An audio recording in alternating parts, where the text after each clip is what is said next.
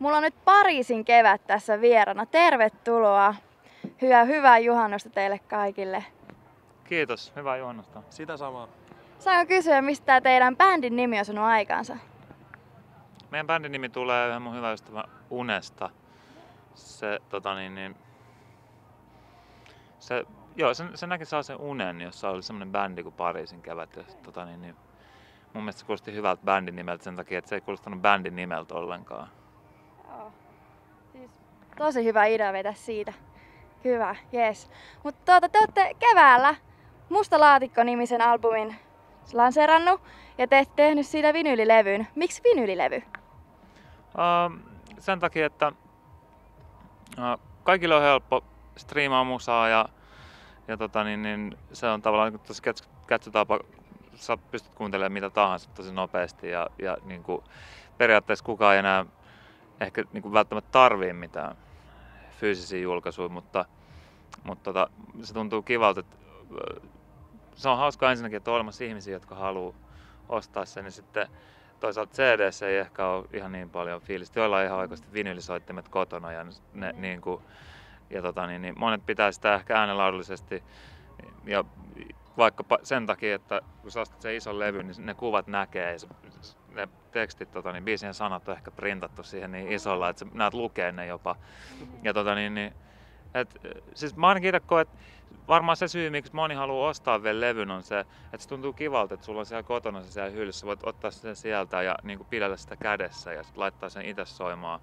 Ja se, niin kuin, se, siitä tulee vähän eri olo kuin siitä, että sä vaan klikkaat jonkun biisin soimaan. Aivan totta.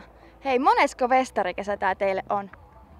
Öm, no jos se ensimmäinen niin kuin puolikas festari kesä lasketaan, niin tää on silloin viides mun mielestä. Yksi kesä on ollut taukoa ja muina kesinä sitten siitä 2010 vuodesta lähtien on Joo. pyöritty täällä kesäjuhlilla. Okei, okay. yes. No miten teidän juhannus on lähtenyt käyntiin? Me istuttiin 10 tuntia pakettiautossa. Joo. Eli tosi hyvin. Nyt me ollaan täällä, tää on kiva, täällä paistaa aurinko.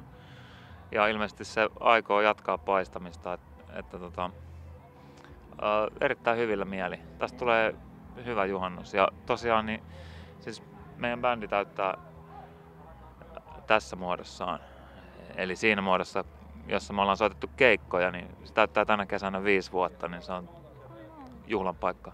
On, ja onneksi olkoon siitä. Onko tämä teidän eka kerta Kalajoella vai onko tullut jo monta kertaa käytyä täällä?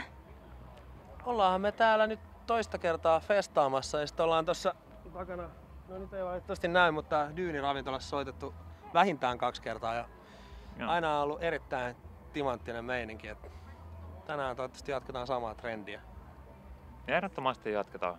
Kalajoki, siis täällä on aina ollut tosi hauskaa. Että, ähm, sitten kun ollaan tosiaan tuossa Dyynissä, niin se on ollut tota, niin, niin, jonain muuna vuoden aikana kuin kesällä. Mm.